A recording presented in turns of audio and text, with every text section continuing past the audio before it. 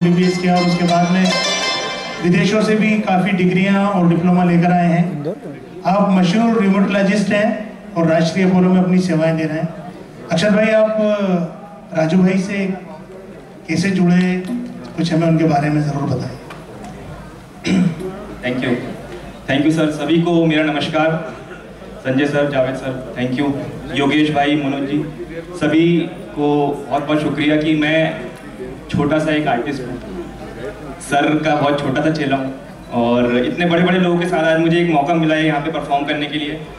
Sir को बहुत ज़्यादा मिस कर रहे हैं आज सभी। आ, समझ में नहीं आ रहा है क्या कहूँ लेकिन बस यही कहूँगा कि सर से एक मेरा अलग ही रिश्ता था।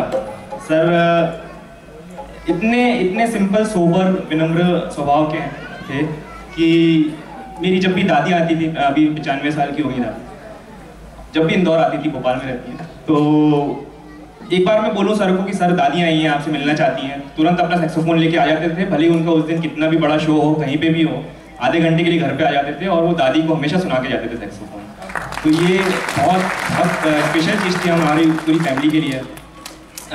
दूसरी चीज़ ये, हमेशा सर एक चीज़ सोच लिया था मैंने एक सेक्सोफोन था, अभी तो खैर ये एडवांस मैंने ले लिया है बट जो सर के साथ मैं वहाँ गया था, मुंबई सेक्सोफोन लेने तो शेटू का एक सेक्सोफोन था तो जिस दिन सर नहीं रहे उस दिन मैंने सोच लिया था कि ये सेक्सोफोन मैं कहीं नहीं बेचूँगा किसी को भी नहीं दूँगा। तो वो सेक्सोफोन मैंने हमेशा संभाल के रखूँगा।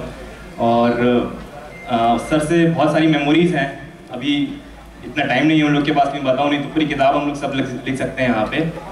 और एक गाना बस थोड़ा नया गाना है वो प्रस्तुत करूँगा। सर ने बोला है संजय सर ने कि भाई एक नया गाना होना चाहिए और तो इतने अच्छे अच्छे प्ले किए, मेरे को थोड़ी घबराहट हो रही है प्ले करने में बट आप सभी लोग अगर मेरे साथ हैं तो बड़ा मज़ा आएगा। Thank you thank you